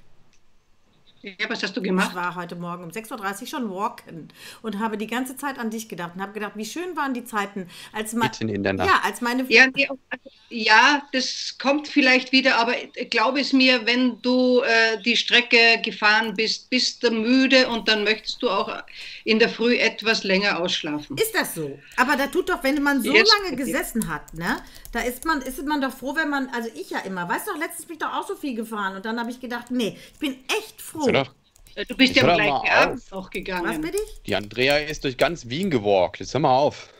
Na, nochmal, gibt's das ja, denn? Ich bin durch Wien gewalkt, ich bin durch Linz gewalkt, ich bin durch Salzburg ja. gewalkt. Hast du uns denn, Schick mich wohin, ich hast du uns denn wenigstens was mitgebracht? Mann, ich habe die Torte selber aufgegessen. Tut mm. mir das leid. das finde ich jetzt unmöglich. Muss eine backen. Ich finde das unmöglich. Aber weißt du, ich habe ja immer noch eine im Petto. Das ist Anne-Kathrin Ertel. Ja, jetzt kommt nee, aber an, warte mal, weil die, weil ja. die hat nämlich eine Hochzeitstorte gehabt und die, das weiß ich nämlich von ihr, ja, die Anne-Kathrin hat ja vor acht Tagen geheiratet. Was, ja. Siehst du, die, Stück ja, ja, die wird jetzt sagen, Biggie, pass mal auf, ich habe für dich auf jeden Fall ein Stück Kuchen. So. und nicht so wie, und nicht so wie Andrea. Tut mir leid, ich habe die ganze Torte alleine aufgegessen. Ich habe nicht gesagt, dass ich sie alleine gegessen habe. Ich habe gesagt, dass ich sie so aufgegessen habe. Ja, okay. also. Ja. Gut, bleib noch ein bisschen bei uns, Andrea. Wir begrüßen mal ganz kurz Anne-Kathrin. Hi, na? Hallo, Anne. Hallo. Guten Morgen, ihr Lieben. Na, Schön, euch mal wieder zu sehen. Ja. Du siehst so verheiratet aus. Ja, du siehst so verheiratet. Ja, frisch total verheiratet siehst du aus. Mach mal so. Hm. So. Wow, ich muss die Brille aufsetzen. Halt mal näher, ich muss gucken. Ja, wow. Hallo, die Waldfee, sag ich nur. So, da sind wir platt. Ja, zu groß im Fußball. Ja. Ja, genau. Aber das ist Verlobungsring und Ehering, ne? Also ja. sind zwei Ringe. Nicht, nicht einer, der so groß aussieht. Jetzt hätten wir das auch mal geklärt. Ich habe letztens einen Freund gehört, der heiraten möchte noch in diesem Jahr. Da sagte seine Frau: Ach, guck mal, einen Verlobungsring habe ich schon. Äh, ich, jetzt brauche ich noch den Hochzeitsring. Da sagte er, was? Den steckst du einfach um. da habe ich aber auch gedacht, willkommen in der Ehe. So. Nee, da habe ich ja noch Glück gehabt, dass ich nochmal einen Ring bekommen habe. Ja, da hast du echt Glück gehabt. Glück gehabt hast du auch mit deinem Mann, Matthias Ostscholek. Toller Typ, Profispieler. Sag mal, weiß man jetzt eigentlich, wo der spielt? Wo zieht er denn jetzt hin? Bei Hannover 96 doch noch nicht mehr. Nee, ähm, aber tatsächlich wissen wir immer noch nicht, wo es für uns hingeht. Also ich glaube auch, dass wir das erst im August wissen werden. Das wird ein, ein langer äh, fußballfreier Sommer, sage ich jetzt mal. Kurzarbeit. Kurzarbeit. du, wie war es denn in den Flitterwochen? Nee. Andrea hat mich gestern schon genervt und sagt, wie war es eigentlich in den Flitterwochen? Aber wir hatten echt äh, Glück. Wir sind ja an Tegernsee gefahren. Wir waren jetzt nur vier Tage. Aber das ist ja so, äh, Bayern ist ja meine Heimat und da hängt ja auch mein Herz immer noch sehr dran. Und ich muss sagen, es war echt schön. Wir hatten so Glück mit dem Wetter und äh, konnten wirklich jeden Tag draußen da im Garten liegen und sind abends am See entlang spazieren gegangen und haben äh, viel bayerisches Essen gegessen, äh, was wir ja im Alltag aber nicht so machen. Aber da haben wir wirklich nach Lust und Laune geschlemmt äh, und schön war's. Also wenn ich gewusst hätte, dass ihr dort seid, wäre ich kurz vorbeigekommen, weil ich bin ja in der Nähe vom Tegernsee entlang gefahren. Weiß jetzt nicht, ob alle... Ja Mensch, da hätten wir zusammen anstoßen ja. können. Oh, das wäre was gewesen. Das wäre ja. lustig gewesen, ja. Schade. Beim nächsten Mal. Beim nächsten Mal, auf jeden Fall. alle unterwegs. So, also, und dann habe ich gestern kurz mit Anne-Kathrin ähm, gewhatsappt und da hat sie gesagt, ich sitze auf, schon wieder auf einer Hochzeit. Ich sitze auf einer Hochzeit. Also, erstens sitzt man auf keiner Hochzeit, man tanzt. Ja, also, man sitzt niemals, man tanzt nur. Wir haben aber so wild getanzt, dass ich tatsächlich mal äh, meine Füße ausruhen musste. Ich habe dann die hohen Hacken ausgezogen und habe meine Sandalen rausgeholt. Das war die Hochzeit von Matthias Bruder. Von Matthias Bruder, genau. Ja, da habt ihr euch ja schön abgesprochen, dass die ganze Family heiratet, ne? Ja, wir haben schon gewitzelt. Äh, er hatte noch eine Schwester, haben wir gesagt, du, wir hätten jetzt noch nächstes Wochenende, äh, wäre noch frei, wenn du möchtest. Ne? Gib Gas. Also, ich guck mal gerade schnell Tinder durch, mal gucken. Heiratswillig, nächstes Wochenende. Ja, genau. Gib Gas. Ja. Wir sind im Supermarkt. Ich suche Ehemann. Ja. An der Schwarzen. Zeitdatum steht schon fest. Hör mal, Andrea, bei uns in dem hm, Edeka-Markt, Rewe, ich weiß gar nicht, was ja. das ist, was gibt es denn da noch ja, alles? Mhm. Lidl, Turm, Netto, keine Ahnung was. Da gibt es so, einen, so ein Brett. Schwarzes ja, so ein schwarzes ja, Brett. Genau. Nächste Woche, wer heiratet Richtig. mich? Das finde ich auch noch gut. Ach, schön, ja. ja. Anne-Kathrin, meine Frage, wo du gerade bei den Füßen und bei den Schuhen warst. Ja, ich habe mir gestern, ja. vorgestern, mal meine ganz hochhackigen, irgendwie waren, sind wir ja alle immer noch auf Homeoffice und irgendwie, weiß ich nicht, im Badelatschen unterwegs, ja. Und dann habe ich mir diese hochhackigen, weil jetzt auch so ein Event ansteht, angeguckt. Und weißt du, was ich befürchte? Ich kann da nicht mehr drauf laufen. Kann man das verlernen? Ja, ganz klar, ja. Oh. Ich habe äh, zu meinen New York-Zeiten bin ich jeden Tag gefühlt 16 äh, Stunden auf Hacken gelaufen. Kann ich heute nicht mehr. Ich, also geht wirklich, ich trage echt selten hohe Schuhe, sehr zum Leidwesen. Äh, Labutin, heißen Mannes. die so? Ja, natürlich, nur die. hm. Nee, aber ich muss auch sagen, äh, Biggie, ganz ehrlich, ich kaufe mir, äh, wenn ich mir hohe Schuhe kaufe, nur günstige, weil ganz ehrlich, die teuren Stimmt. sind so unbequem, ja. das rentiert sich hinten und vorne genau. nicht.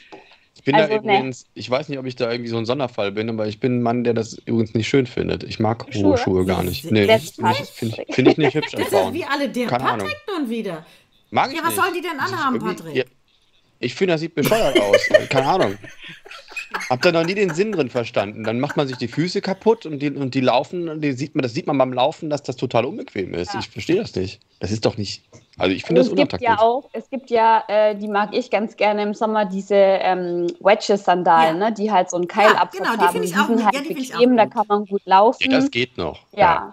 Also aber mit so, denen, so dünne, das sieht total sieht bedrohlich ja, ich weiß, aus. Ich habe aber solche Sachen, ich habe ja hab echt solche Sachen, ich habe gedacht, ich habe die bei mir, ich habe so einen begehbaren Kleiderschrank, da habe ich die stehen im Schlafzimmer. Ich denke immer mal, wenn mich mal einer überfällt, du, dann hole ich die. Kannst du die Hack rausholen? und renne los. So sieht's aus, mit den Schuhen in der Hand. So der Kommissar, sind die. Ja, der hat, einen, der hat einen Pumps im Kopf, das sieht komisch aus. Brauchen sich nicht beeilen. Pumps, Pumps im Po glatter, glatter Durchschuss.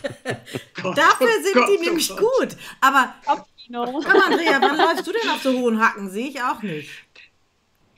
Äh, meine höchsten Schuhe sind, glaube ich, so hoch, weil ich kann überhaupt nicht auf ganz hohen Schuhen laufen. Buffalo. Die mit den, Furchtbar. Uh, kennt ihr gar nicht, fand ne? ich auch mal klasse, Buffalo. Ja? Also, Echt? Vor vielen kennt, Jahren. Kennt Biggie und Andrea Doch, gar nicht. Natürlich. Ein ganz Ey, ich hatte, ich hatte, ja, ich hatte schon Buffalo Cowboy Stiefel. Da war die noch alle gar nicht da. also, ich war schon da. Ich bin die Älteste der Runde, bitte. So sieht's aus. Da ich drauf. So, liebe Anne-Kathrin, du hattest also schöne Flitterwochen. Ihr seid nicht irgendwie wild nach, ich weiß nicht was. Wo fliegt man da sonst hin? Auf. Äh, Seychellen. Ja, oder? Ja, äh, Seychellen, Mauritius, Malediven, nee. Wir sind in der Heimat. Ihr seid geblieben. schön in der Heimat geblieben und dein Matthias hatte wahrscheinlich auch mal äh, traditionell in Bayern eine krachende Lederhose an. Ja klar, am Tegernsee kann man die Lederhosen schon rausholen. Ne? Sieht auch gut aus. Ja. Mit so ja, ich mag das. Ich finde das richtig schön. Ich mag auch Dirndl richtig gerne. Ich habe zwei. Sehr schön. Ja, aber bei euch in ich Österreich nicht. gehört das ja auch dazu, oder? Ja, ja. Ich habe ja auch im Dirndl äh, äh, in, in, Düsseldorf und in Köln auf der Bühne gestanden, weil ich eine österreichisch-bayerische Bäuerin gespielt habe. Da habe ich natürlich dann mein Dirndl ausgefüllt, sagen wir mal so. Ja, ich fülle gerade auch irgendwie meine T-Shirts aus. Äh, liebe Anne-Kathrin, gib mir noch mal einen Tipp. Ja, ich muss dann jetzt auch noch mal ein Kleid passen in den nächsten 14 Tagen. Wie kriege ich ganz schnell ein paar Pfund runter? Ganz schnell ist, ist sowieso schwierig. So. Biggie, tut mir leid. Kannst du mich jetzt mal coachen zur Abwechslung? Ich bin ja Realist. Nein, aber ähm, du, du, wir haben ja schon mal darüber gesprochen, das Intervallfasten ist tatsächlich super. Ähm, aber Intervallfasten mit 16,8 ist natürlich nur super, wenn du trotzdem schaust, dass du dann in den zwei Mahlzeiten nicht zu viele Kalorien zu dir nimmst, weil ansonsten, ja, ne, am Ende des Tages zählt halt einfach die Kalorienmenge. Du brauchst ein Kaloriendefizit. Und wenn du dann noch ein bisschen vielleicht Powerwalking oder so machst, dass du dich ein bisschen bewegst. Habe ich heute Morgen schon gemacht. Ja, sehr gut. Da hast du mir schon was ja, voraus. ich war schon unterwegs. Jetzt, ich habe noch nicht mal gefrühstückt, deshalb habe ich gedacht, heute wäre ein guter Tag, mal anzufangen. Anzufangen. Mhm. Ja. Ja, und du kannst mal einen ganzen kompletten Fastentag einlegen, wenn du das hinbekommst. Oh. oh. Guck mal, wie bei uns oh, oh, entgleisen die ganzen Gesichtszüge. Ja. Patrick sagt auch schon, oh. Ja, ich esse immer dann, wenn ich Hunger habe und höre auf, wenn ich keinen mehr habe. Das ist, so ist mein Fass. Ja, aber das ist gar nicht verkehrt, Patrick. Wenn ja. man auf seinen Körper hört, äh, der sagt einem eigentlich schon, was Sache genau. ist. Und was mein Körper braucht. sagt auch immer, ich brauche ganz viel Cola. ich bin mir sicher, das tut das. so, wie geht's denn jetzt bei euch weiter, Anne-Kathrin? Jetzt seid ihr frisch geflittert, hätte ich fast gesagt. Seid ihr zurück? Ja, und dann? Für uns wird es nicht langweilig. Äh, ich, äh, ich habe morgen Geburtstag. Ach, Mensch, das steht ja äh, auch oh. noch an. Ja. Noch eine Scheibe. Wow. Muss ich mir jetzt morgen wieder irgendwas äh, Langes anziehen oder in Schale werfen? Nee, nee, ich bin Team Sweatpants, Andrea. Du Trauertag oder was? wir fahren morgen oder ich bin äh, tatsächlich morgen in Hamburg, beziehungsweise wir, ähm, und haben gesagt, wir stoßen dann mit unseren Hamburger Freunden auch nochmal an, sowohl auf Geburtstag wie auch auf die Hochzeit nochmal. Und ähm, dann geht es auch schon wieder in den Süden nach Augsburg. Mhm. Ähm, und dann werden wir wahrscheinlich ich bin mir nicht so ganz sicher, wie ich das finden soll, ein paar Tage nach Sizilien oh, ähm, da fahren. Bin ich raus. fahren mit dem Auto? Nee, fliegen. Also wir okay. fahren nach München und dann fliegen ja. Da bin ich raus gerade. Ich kann dir gerne einen Film zuspielen zum Thema Fliegen von Wissenschaftlern. Mal gucken, ob du dann noch fliegen willst. Also ich muss sagen, ich wollte nicht wegfliegen. Ich bin da sehr zwiegespalten. Ähm, aber äh, mein Gatte hat sich das so sehr gewünscht. Und jetzt, ich bin sehr, also deswegen meine ich, bin sehr zwiegespalten. Ich bin auch sehr gespannt, was uns erwarten wird. Ich kann es nicht einschätzen, wenn ich ehrlich bin. Auf der einen Seite freue ich mich auf ne, Meer und, und äh, Sonne und so, aber ich bin, ich bin sehr zwiegespalten. Also Thomas Gerris hat ja heute schon mal gezeigt, wie das geht. Er ist ja gut angekommen. Der hat heute Morgen ja schon einen Bericht geliefert aus Pool in Portugal. Ja. Also bei mhm. dem hat es ja hingehauen, kein Thema. Aber ich bin da im Moment auch zwiegespalten, zumal Eurowings, ihr Flaschen. Ich habe euch jetzt schon die dritte, die dritte ja, das dritte Flugticket zurückgereicht und ich kriege immer nur zurück kein Geld. Nein, wer das denkt, der ist noch frohen Mutes. Ich kriege immer nur eine Nummer, eine Bearbeitungsnummer. Ich habe also jetzt ungefähr, mhm. ungefähr 85 Dauer. Bearbeitungsnummern, nur Geld kriege ja. ich nicht zurück. Ja. Ist aber, glaube ich, überall so. Also bei uns ist ja auch so unsere Hochzeitsreise, die wir ursprünglich gebucht hatten. Ich hatte halt alles einzeln gebucht. Und ähm, ich habe das Einzige, muss man jetzt nochmal dazu sagen, es ist von äh, einer Billigfluglinie haben wir einen Gutschein bekommen. Das ging innerhalb von drei ja, Tagen. Guck, da dachte ich mir auch so, wow.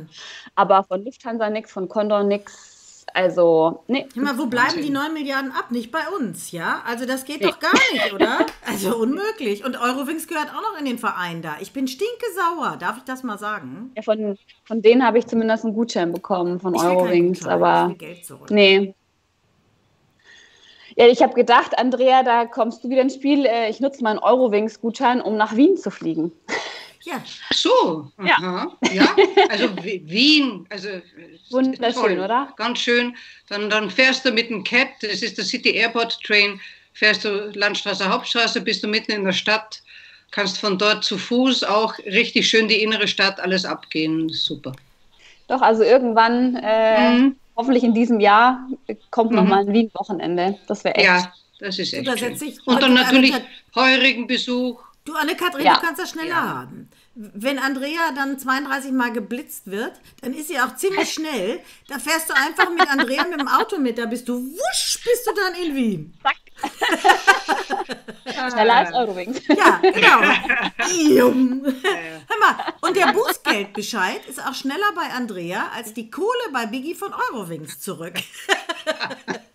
Aber ich habe gestern im Radio gehört, diese, diese neuen Bußgeldbescheide, die sind irgendwie ja, nicht. Genau. Äh, nee, nur die Rasa. Fehler, ne? Nee, nur die über, wenn du, da geht es nur um die, wo du deinen Führerschein abgeben musst, also über 21 km/h drüber. Ja, ja Andrea, das verstehe ich auch nicht. Warum bist du nicht 21 mehr gefahren? Nee, es wäre, also ich weiß nicht, ob das auf der Autobahn auch was anderes ist als in, in ja, der Stadt. Ja, das, ja, ja, klar. klar. Also dann wäre ich gleich ganz schnell ja, gefahren. Da hättest du wenigstens Einspruch ja, einlegen nee, können. Äh, nee, nee. Nee, ja, ich, ich, ich weiß, ich, ich habe den Fehler gemacht und ich stehe auch zu dem, was ich gemacht habe und ich werde es auch natürlich zahlen, aber mich ärgert es halt einfach, weil ich äh, wirklich die ganze Zeit mich daran gehalten habe und einmal schaut man halt nicht wirklich dann sage ich, oh, scheiße. Aber jetzt mal ganz ehrlich, ne? ich ja. fahre ja wirklich viel Auto und viel Autobahn. Ja. Und ich bin jemand, der jetzt nicht willentlich zu schnell fährt, also vielleicht 10 km/h drüber oder so. Ne? Ja. Aber ich muss ganz ehrlich sagen, teilweise habe ich das Gefühl, in fünf Kilometer habe ich fünf verschiedene Geschwindigkeiten und ich komme da manchmal, ja, genau, ich kriege das gar nicht stimmt. mit. Dann ist 80, dann ist 100, dann ist 120, dann ist 130, dann ist offen, dann ist wieder 120. Also ich finde das auch irgendwie ein bisschen Chaotisch, Zumutung. Was ich auch so eigenartig finde, es ist immer diese, diese Leuchtanzeigen äh, über der Straße, die dann plötzlich verschwinden. Das ja. heißt, dann ist weg, dann kannst du eigentlich wieder normal 180 fahren. Ja. Dann ist aber vor dir, zehn Meter vor dir fährt einer, da war es noch 120. Was ist es? Muss der jetzt weiter bis zum nächsten Mal 120 fahren? Oder wie ist das? Also ich, ich das verstehe ich Also wir laden mal in die nächste Sendung unseren Verkehrsminister ein. Ja, ja bitte. Eine gute ich habe das, Bild, hab das bildlich vor Augen, die Andrea. Das, das Schild geht aus. Aber ich sag's doch immer, ich habe immer noch Filme im Giftschrank, ja, wo ich gedreht habe, Sie am Steuer. Das macht sie super, aber sie, sie fährt aber gut. Nein, ich sag doch gar nichts. Jetzt guckt sie mich auch noch böse an. Ja, du fährst gut. Du fährst sogar ein LKW. Nein, Autos fahren auch immer rot ich an, wie die, die Schuhmacher? Oder ist pass, aber pass auf, sie hat echt den Umzug bei meiner Tochter organisiert und ist dann als LKW-Fahrer durch die Gegend gefahren. Das rechne ich ihr hoch an. Sie hat die Ärmel hochgekrempelt, ja. kariertes Hemd, du, und dann ging es aber rund mit Andrea Spatzek. Hm. Die erste Frau, die 180 mit dem LKW fährt. Oh, Respekt, Nein. Respekt. Aber mach Nein. das nicht so doll, ich krieg's nachher wieder. Anne-Kathrin, du wirst jetzt schön in deinen Geburtstag heute reinfeiern und an uns denken, ja? Ich werde auf euch, mit euch ein Stück Kuchen essen, ne? Für euch mit. Alles. Also, für uns bitte. Für gerne, euch. Ja. Vier Stücke gibt's dann. Äh, alles, mach alles. Trink für uns was mit, mach ja. alles. Ähm, wann sprechen und sehen wir uns denn eigentlich wieder? Wissen wir noch nicht. Ich hoffe doch ja, mal bald. Kinder, ich habe noch viel zu tun heute. Um 19 Uhr erwarte ich wieder die Politiker in meiner Sendung. Und zwar, wir wählen Gesundheit. Um 20 Uhr geht es mit meiner Sendung Lechtermann Gesundheit und Leben weiter. Und da ich das jetzt noch alles organisieren muss für heute Abend, nein, Nein, es ist auch schon was ja. aufgezeichnet. und ich muss auch heute nicht mehr ins Fernsehstudio. Wir haben schon gearbeitet. Aber ich wünsche okay, euch gut. dann heute einen schönen Tag. Macht's gut. Wer Lust hat, guckt heute Abend rein. Politik gibt's und es gibt Gesundheit. Und ähm, wir sehen euch alle gesund und munter wieder. Schöne Schönen Grüße. Sonntag euch noch. Tschüss zusammen. Ebenfalls. Ciao. So, Andrea, dich sehen wir morgen wieder. Tschüss. Tschüss. Patrick, du hast das letzte Wort. Fast zusammen. Ja. Äh, äh, äh, ja. das bin ich. Wir haben so viel ja, heute, ja, das kriege ich doch nicht mehr Leg zusammen. Los. Wir haben gute Aktien, schlechte Aktien. Wir hatten Patrick, die Andrea, die Patrick durchblieben war. Wir haben den hatten wir erstmal zu Gast, war unser Gast genau, heute. Toller Gast, den würde ich gerne nochmal einladen. Es war ein tolles Gespräch. Dann ist der äh, Thomas abgetaucht. Mit Klamotten in Pool, weil das war ja heute eine offene Sendung. Du. Andrea durch wie gelatscht. Ja. Bin ganz irritiert, wir haben auch schon ja, so los, spät. Ja, los, ich leg jetzt ne? auf. Mach's mal gut da draußen, Uff. ja? Ja, bis, bis dann, bis, bis morgen. morgen. Macht's gut, hat Spaß gemacht. Tschüssi. Tschüss. Ja, hat es. Tschüss.